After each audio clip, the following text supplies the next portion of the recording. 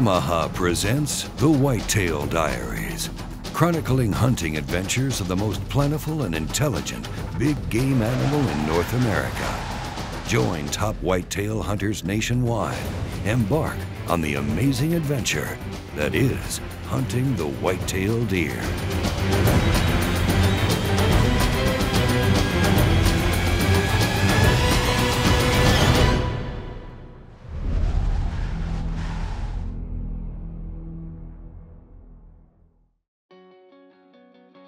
This week on Yamaha Whitetail Diaries, Ted Gartner from Garmin has come to deer camp to see if he can take down his first whitetail deer with a bow. Well, it's uh, one of my yearly pilgrimages to uh, deer camp uh, down near Brackettville, Texas. Uh, come down here at least a couple times a year and uh, see Wade and the rest of the guys. Um, this is something I always look forward to every year. Uh, it's, it's, a, it's just fun to be down here. Neat country, great folks to be with, fantastic food. you always wind up going away about five pounds heavier than when you came here. You know, I've hunted deer down here with Wade for many, many years and, and uh, have always enjoyed it, but this year is going to be my first time out down here uh, with a bow.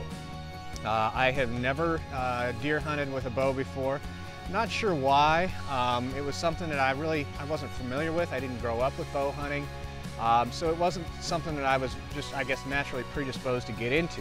That changed about three years ago when my son Jack decided that he wanted to start bow hunting. I thought it'd be, you know, great for him to do. So we, got him set up with a bow and he came down here, uh, uh, you know, last year and uh, shot a really nice deer with a bow. And, and about that time I thought, well, gosh, what, why am I sitting on the sidelines here? Why shouldn't I get in and, and, be a part of it? So immediately shooting my bow, making sure everything's still sighted in. Um, that's always a little bit nerve wracking because you're shooting in front of all these pros here. And, and uh, thankfully I was dialed in, really pleased with that. You know, Ted's a, a, pretty avid, pretty serious, you know, hunter. He he travels around the United States, uh, both upland game bird hunting as, as well as hunting whitetail. And uh, he's he's been a frequent visitor of ours down here, and you know has hunted with a lot of different means and methods. And he really has taken to bow hunting uh, and picked up one of the Cabela's bows and was shooting it a lot, and, and obviously was pretty dialed in once he he got here to the to the camp because when you watch him shooting around here, I mean, he was flinging those arrows right where it needed to be. So now it's just a matter of uh, picking the right stand with the conditions and getting him out in the field. Get in my camo, and Jeff and I go off to our first uh, stand that evening.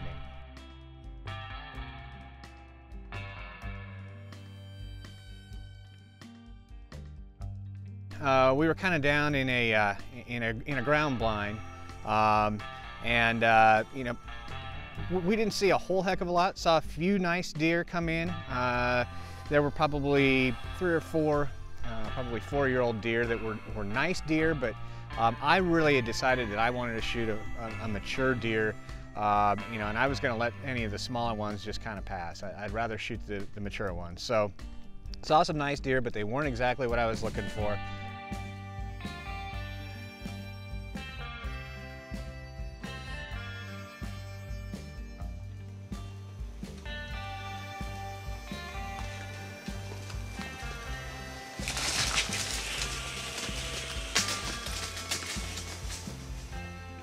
It was nice to just kind of immediately get your routine and get into things. And, and Jeff and I called it a night that evening, and, and we're excited to get out the next morning.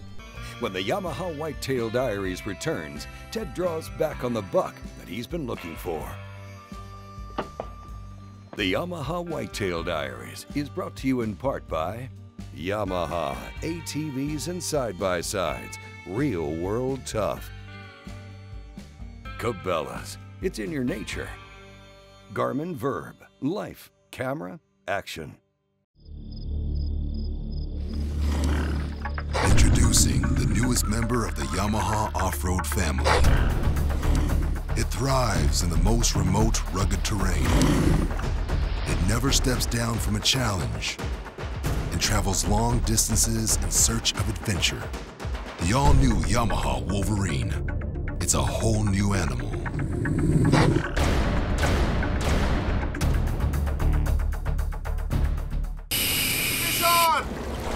Come on, get together.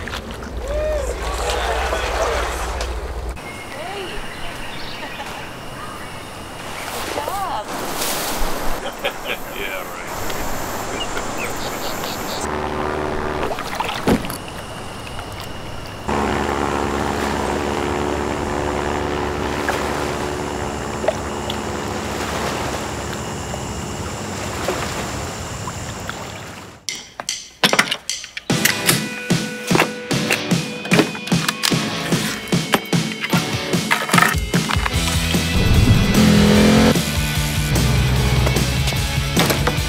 Comfortable to carry, comfortable to shoot.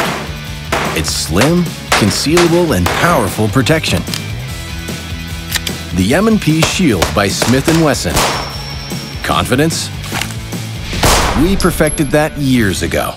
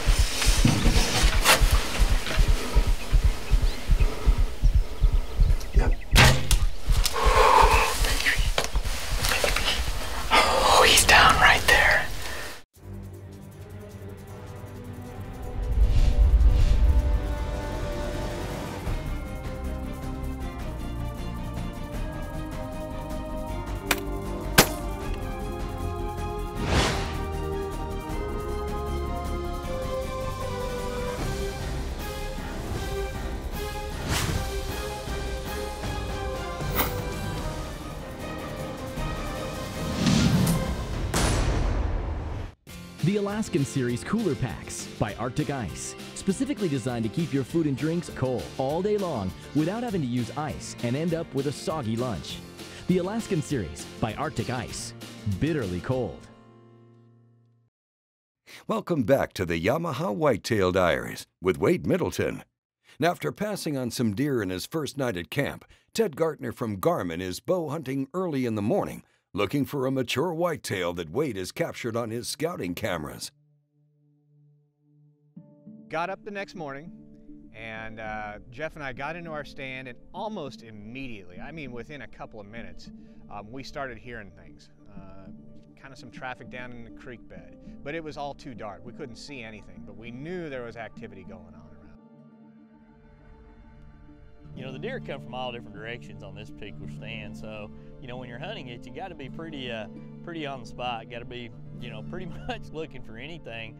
But the one challenge with this particular stand, uh, it's going to get light very, very, very late because the canopy of trees that's that's around it. I mean, it's almost like hunting under an umbrella. And uh, Wade kind of talked me through it. You know where the shooting lanes were, what I needed to do uh, kind of some of the deer that he had been seeing on, on trail cameras. Um, sounded like some really nice deer, and, and uh, one that, that kind of caught my attention was this, this eight point, and Wade kind of said, you know, this deer, he's a mature deer, his, his, his, his horns just kind of keep going up and up and up. And uh, that sounded pretty good to me. So Wade the night before told me to go ahead and stand up and, and kind of get in position uh, before the light really got good so that I wouldn't have to do that uh, when there were when there were big deer under me. So I did that and all of a sudden the, the world kind of woke up around me. Uh, a lot of deer started milling around, um, you know, all shapes and sizes and then before long uh, this big deer came out, this big eight point deer. Um, and he was, uh, he was everything had said and more. Um, and immediately my heart rate started amping up.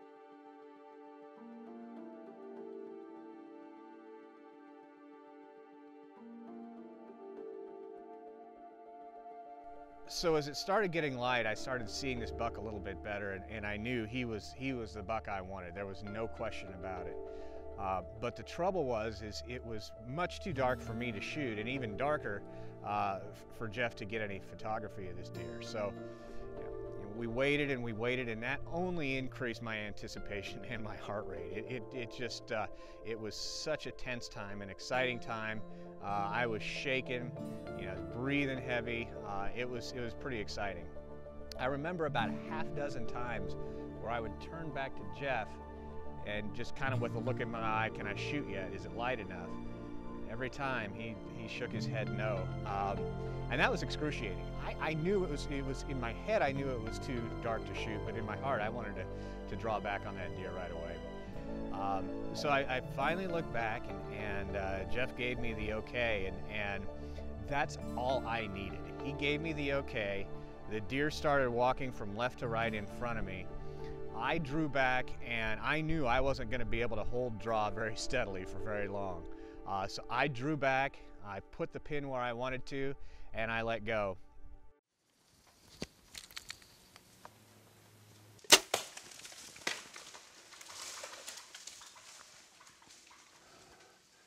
Um, the, the, the, feeling that I felt after that was just uh, elation. Um, I knew I had had a pretty good shot. Thought it might be a little far back, but I was I was pretty proud of my shot, and and uh, it was a fast one. I know that much. Um, but Jeff and I kind of did the whole the whole high five thing, and and uh, you know we waited for a while and and uh, got down from our stands. And, and Wade's rule is uh, you got to wait at least two hours before you track a deer um, that's been hit by an arrow. So we went back to camp and uh, kind of talked things over then.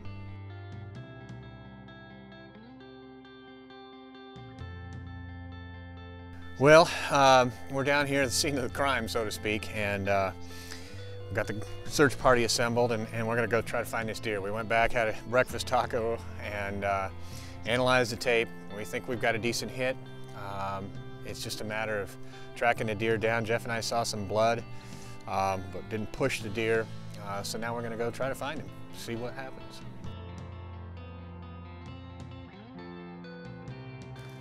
You know, this is always a fun time for a bow hunter when you, or any hunter really, when you're taking a shot and you, you know you made a pretty good shot, but you want to find blood, you want to find sign, you want to find the arrow and, and get a, a good uh, feeling about the trail. But we're giving this deer about a little over two hours now, and that's kind of our rule of thumb. Uh, even if we know we made a perfect shot, we like to give them two hours, and then we deduct and figure it out from there. So we'll get on the track and see what we can't find.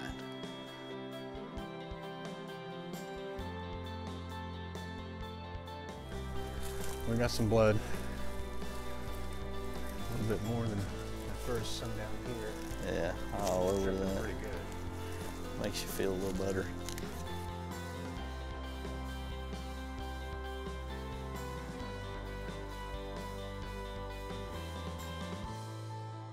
Yeah, he probably stopped right in here. You can see all the blood where he, you know, kind of stood. I mean, hopefully he's gonna start staggering now, but that's that's a lot of blood loss right there. You know, that's look at that right there. I mean, that's a that's a steady pool of blood right there.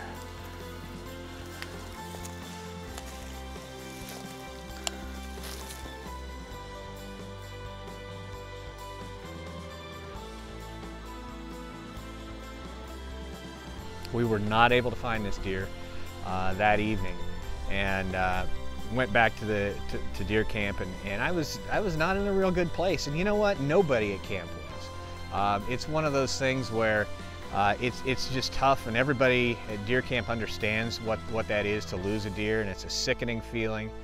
Went to bed that night and and uh, I spent a lot of hours tossing and turning. It was it was not a fun night to be me.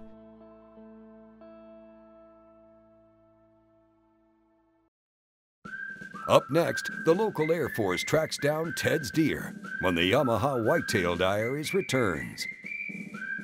The Yamaha Whitetail Diaries is brought to you in part by Smith & Wesson, made in the USA since 1852. Food Saver, the number one vacuum sealing system. Arctic Ice, bitterly cold. Experience HiViz, a brighter sight picture than standard sights, giving you an immediate, more successful shooting performance. HiViz lets you see a dramatic contrast between the target and the barrel for a more intuitive aim that delivers instant results. Our light pipes come in a variety of shapes, sizes, and colors, designed to be seen in a variety of conditions. With our broad line of sights, you'll see your marksmanship dramatically improve, bringing more fun and confidence into every shooting experience. Shoot more accurately. Enjoy the sport. Choose HiViz.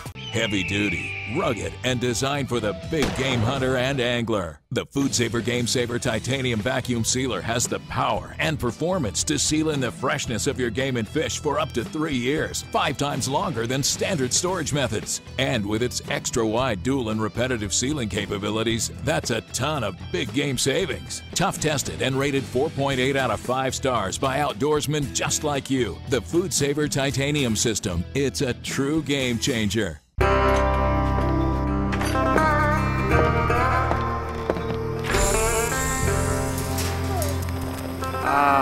Unzu.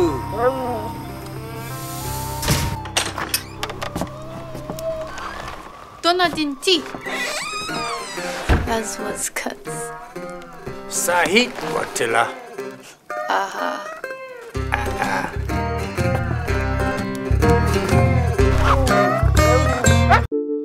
When I'm not hunting, I'm thinking about hunting. It's on my mind because it's in my blood. When the hunt calls, my TC Venture points the way. Accurate, reliable, proven. Until there's no more ground to cover and no more stories to tell. When you're a TC Venture hunter, the hunt never ends. My secret weapon? Evercalm. It's the first ever calming scent. It's real smells from bedding areas. To deer, that means safety. Evercalm reassures even nervous deer. Which can help you get the shot. I use Evercalm all season long. Put it on your boots, your pants, and your decoy. It's stick form, won't wash away or freeze. Evercalm. Evercalm. Evercalm. Evercalm. Evercalm. Evercalm. From the Family Deer Farm at Conquest Scents. Stealth Cam. Trail cameras with features you demand. With the durability and performance you can count on.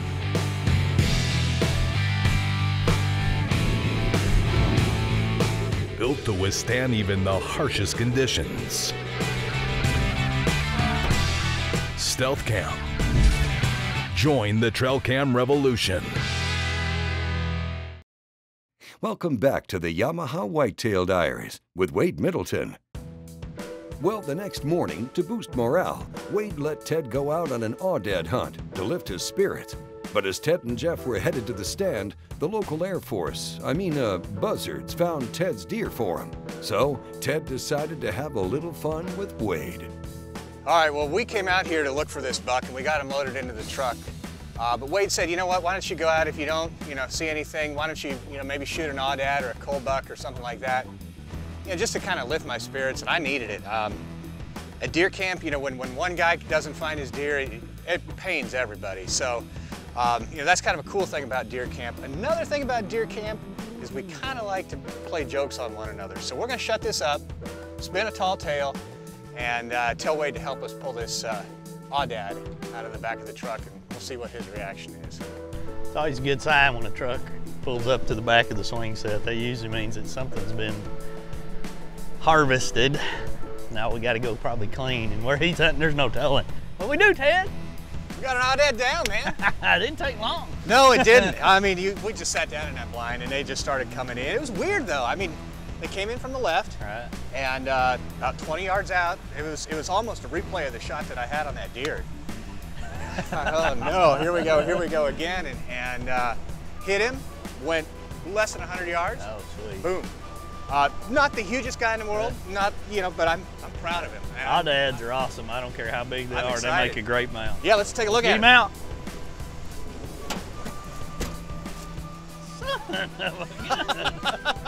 oh my God! We got him. Wow, where'd you find him? The buzzards found him. Holy cow! Yeah, he's a little light in the back. Wow. When I dropped that tailgate, I was just stunned. I mean, I didn't even know what to say there, but you know, it, it's once again it proves to you that you know a buzzard, a buzzard may be the ugliest thing you see on the side of the road. It might eat raccoons and possums and everything sitting on there, but I'm gonna tell you right now, to a deer hunter, that's a Victoria's Secrets model. I mean, when you see one flying around where you've been hunting at and you've lost a deer and he's going to the ground and you go there and he's there, he's the prettiest thing around.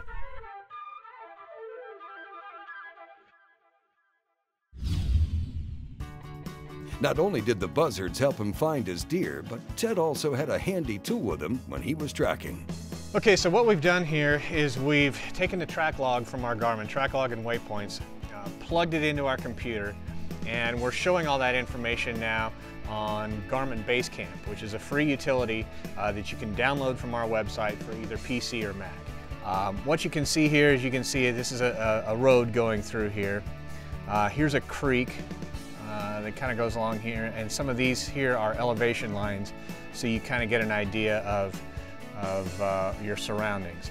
Now the blue lines are all where, uh, they're, they're a track log basically of where we walked. Um, I marked our stand, which is right there. Uh, last blood trail that we found uh, is right up there. So you can see there's a lot of concentration of blue right there. That's because that's where we, we uh, uh did most of our searching, at least initially. Um, that is really, uh, it, it's very, very close.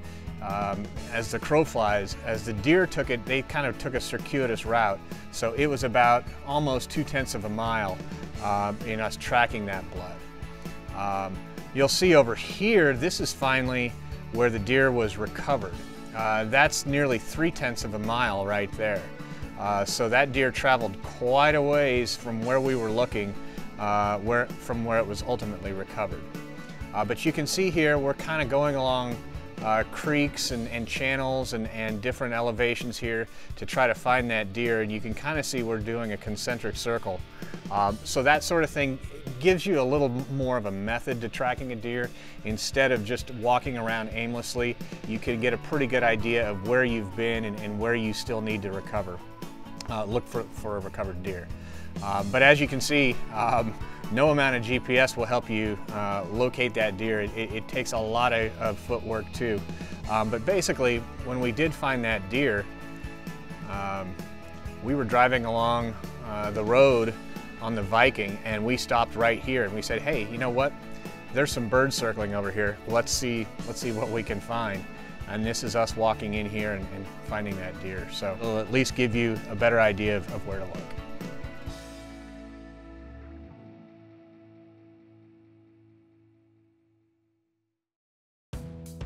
When we come back, we'll take a look at another first-time bow hunter out at camp. The Yamaha Whitetail Diaries is brought to you in part by Bradley Smoker, food smoking made easy. Conquest Scents, hunting scents and dog training scents. Engel Coolers, a legend in reliability. Engel's got the original high performance cooler and a whole lot more.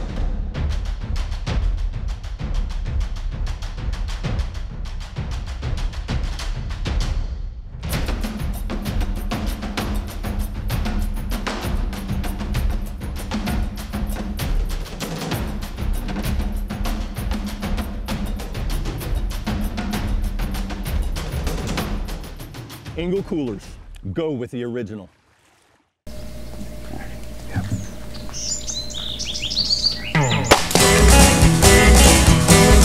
I've never shot a multicolored pig like that. It's just awesome. First pig with the crossbow. I am pumped and excited. If you enjoy the outdoors, you're going to want to have a Bubba Blade by your side. Introducing the Bubba Blade Rhino, aka the stubby skinning knife. Well, on this pig today, the, I used the Bubba Blade Stubby. I mean, that thing worked phenomenally. We've shortened up the handle to 4 inches and put a razor sharp 4 inch skinning blade on it to make the perfect skinning and gutting knife. You'll be able to work close in with ease. Like all Bubba Blades, the knife features our patented handle that gets sticky when wet, so it won't slip out of your hand while you're working. Combined with our razor sharp skinning blade, you have one kick-ass knife. Go online at BubbaBlade.com to order your Bubba Blade today. Fast, affordable, and incredibly light. The all-new Shadow Ultralight from 10 Point. The lightest and most compact crossbow on the market today. 10 Point. There is no substitute. Mumme's is the leader when it comes to wildlife management products in Texas. With four store locations around San Antonio and the ability to deliver feed all across the state, from bulk deer feed deliveries to feeders and blinds, they have all your wildlife management needs covered. They are the largest Purina Antler Max dealer in the nation, so deer nutrition is their specialty. Call today to discuss your nutritional program. Visit them on the web for more information. When it comes to wildlife needs, Mumme's is the leader. Long range. It's a numerical game of precision. Start with a 30 millimeter tube. Add 480 clicks of adjustment, plus instant zero reset, minus your 503 yard target. Your answer, 7.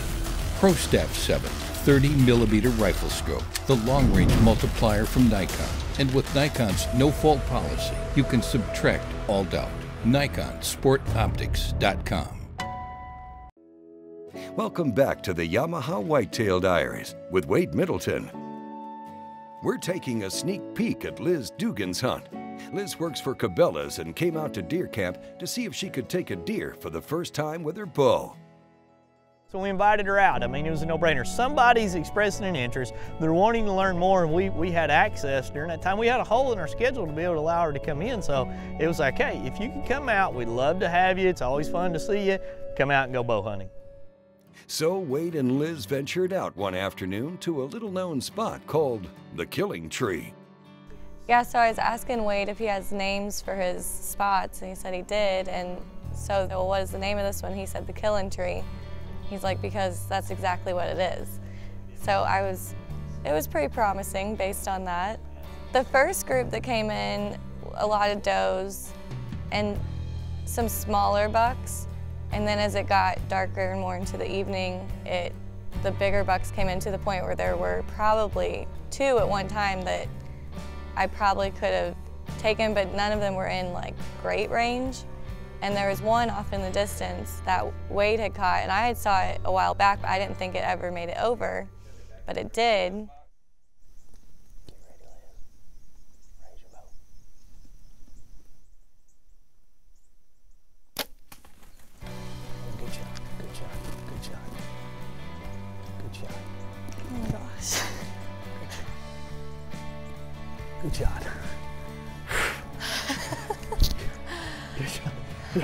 Good shot? I think it's perfect in the heart. I think that's perfect in the heart. Do you think so? So, I think that's perfect in the heart. Whew, talk about heart. I was like, I'm gonna jump out of my chest. I tell you right now, Whew. I'm sitting over here going, I didn't think he was coming back around. yeah. Whew.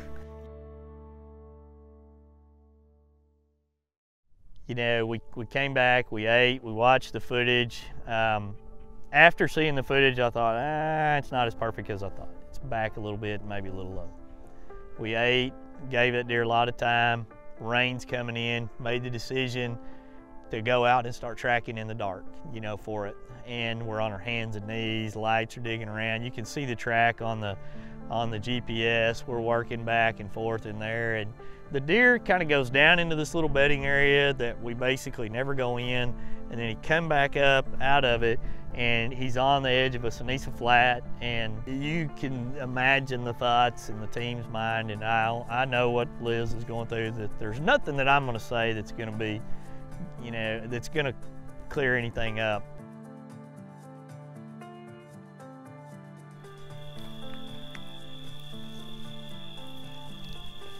Hold right there, son. uh, You can see it shine.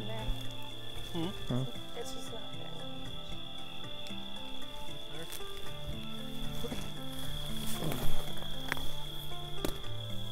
Right here. Will Liz and the crew recover her deer? Well, stay tuned next season and find out here on the Yamaha Whitetail Diaries. Oh, he's starting to bleed here. Okay. He's pouring now. Okay. All through there, Liz. Now I'm getting really nervous.